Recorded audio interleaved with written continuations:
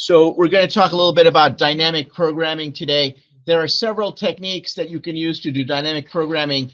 Uh, the one that we're going to look at today is called memoization. This is where the basic idea behind dynamic programming and memoization is that when you ask a method to do some work for you, it keeps track of whether you've ever asked it before.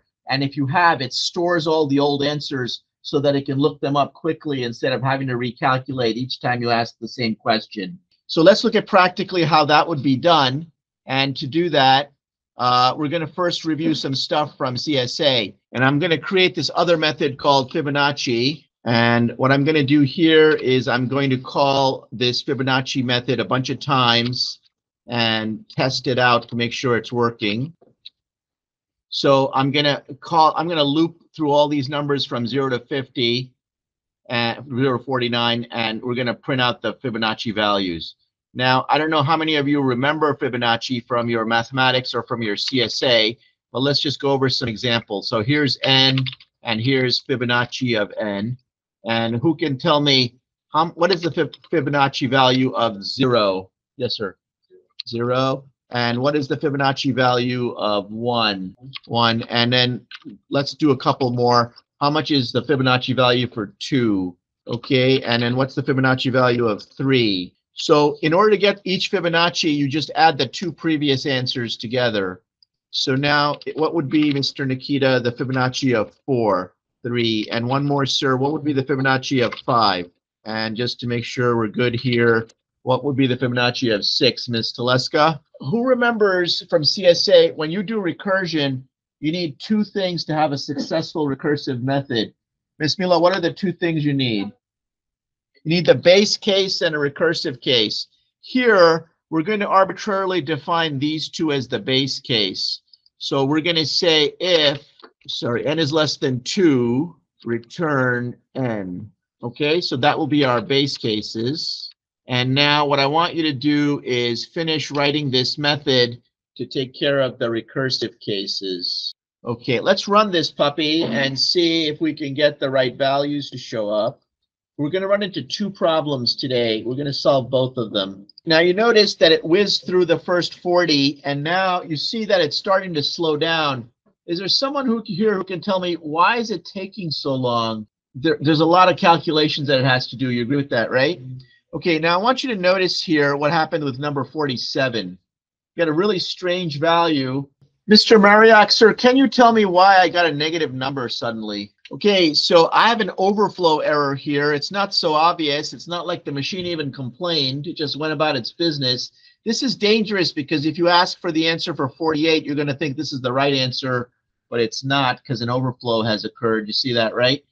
So one of the ways we can fix this, we can use something called big integer, which creates infinite precision arithmetic in Java. Unfortunately, big integer is a big complicated topic and it's not today's topic. So I'm going to use a different solution, which is to use a bigger integer. Does anybody know what the bigger integer? Now, integers in Java are 32 bits long but there's another version of them which works a little bit better, longer. Does anybody know what that's called? It's called long. So we're going to go back and change all the integers to longs here. So now we have another version of this program which will handle slightly larger numbers. And since we're only going up to 50, I think this will work for us. Well, it's 64 bits, but if you think about it a little bit, the numbers that it can handle are it's not twice as large, it's 2 to the 32 times as large. So it's really, really big. And that's going to be big enough for our purposes. So we're going to run this puppy again. And you can see that it still slows down in the 40s, but now at least we don't get that overflow error anymore. I'm just going to give it a minute here so you can see a couple more of these pop up. And I forget where the error was last time. Was around 46? No, it was around 45, I think, right? 47? Okay, let's just give it a minute here. Okay, you can see that it's doing better now, but it's still slowing down a lot. So what we want to do this time is we want to find some much faster solution to this problem. And as I mentioned to you, one of the ways we can do that is we can memoize it or use dynamic programming. And to do that, what I'm going to do is I'm going to create a reservoir that's going to store all the old values. Now, your first thought might be to use an array list to do this. And for this particular problem, you can use an array list. But recalls on an array list where the answers are sort of randomly spread out are going to be extremely painful. We need a data structure that can associate a question with an answer and have really fast recall. Does anybody know of a data structure like that, Mr. Maria? It's a map. So what I'm going to do is I'm going to create a map. And because I want the map to be shared for all the members of this FIB class, I want to create a single map. Okay, private static. So let's do that. So we're going to go private static map. And uh, who can tell me what will be the two data types on this map? Yes, sir. Uh, it could be integer and long. I've decided to use longs for everything here. So let's just use long. Now, is this going to work, Mr. Ben? No. But you'll be happy and probably not surprised to learn that there is a uh, in, object version of long called capital long. And we'll call this uh, map M. And uh, now I'm going to go equals new uh, uh, hash map, long, long. I probably don't even need that there, like that. Now, normally we initialize these maps and other things inside the constructor. How come I'm breaking that rule here and initializing it here? Who can tell me? Because static variables need to be initialized in the static area. And this is the static area, which is outside of any method. So what we want to do is we want to modify our fib method. And when they give us this n value, we want to look in the map to see if this key is already there. And if it is, we want to return the answer right away. And we only want to reach this part here if we're tackling it for the first time. So I want you to try and figure out what code I need to put up here to ask, did I see this question before? And if so, return the answer.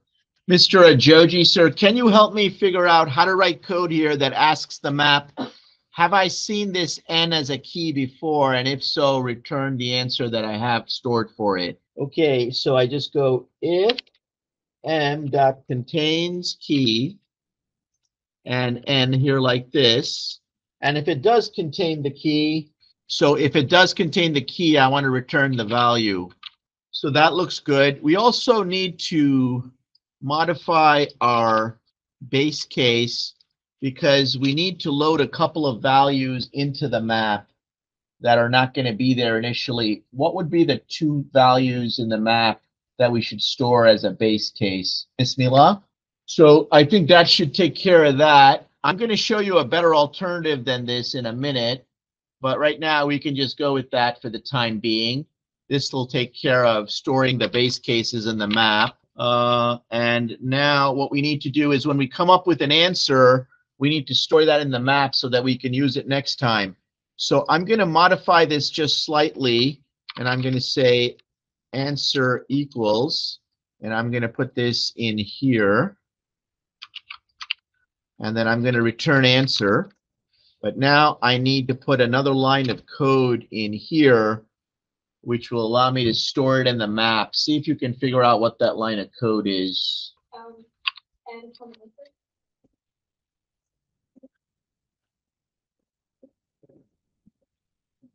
Okay, you see how we are building this map so that it can basically help us later, uh, sorry, shortcut all the future queries about uh, n values for Fibonacci that are asked later. We want to store the answers as we go. I think that's basically everything we need. Let's run it and see if we get any speed up. Remember how slow it was when it got into the 40s, right? Let's see what happens this time. How long did it take? It's instant. Do you see how much faster it is now? Because I'm using this lookup trick. That's a really important trick. So that's how we memoize. Now I need to go over some small issues with you. My next question is this loading of the base case in the map. How many times am I running this line of code? It's for every query I'm loading it. Does that make sense? It's the same numbers I'm loading, right? So I don't need to load this here. So your first thought is going to be to take this out of here and move it into this static main method. So let's do that. We can go map m dot put, and I can say zero, zero, and m dot put zero, one.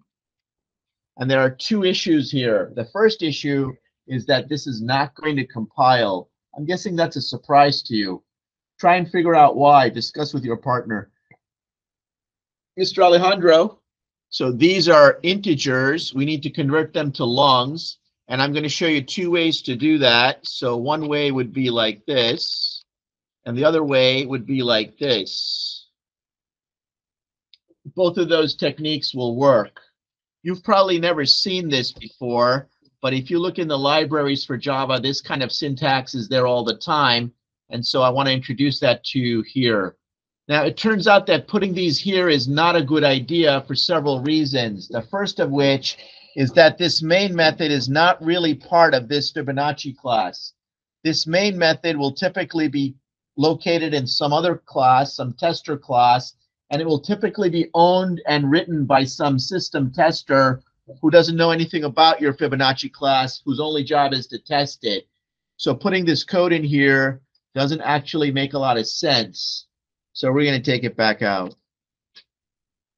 What we really want to do is we want to run it when we initialize the class, and we want to run it only once.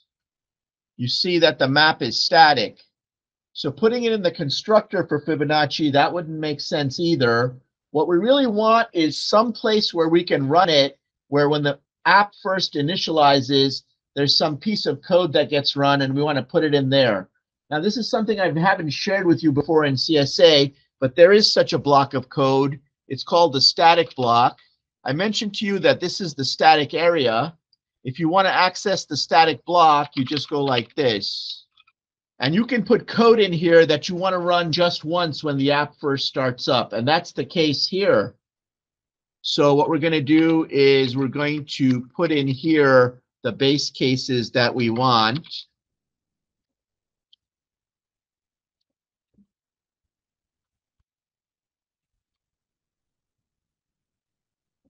Okay, so when the Java virtual machine starts building your app and starts getting it running, what happens is that it basically goes through the static area and creates the static variables and runs the static code before it calls public static void main for the first time.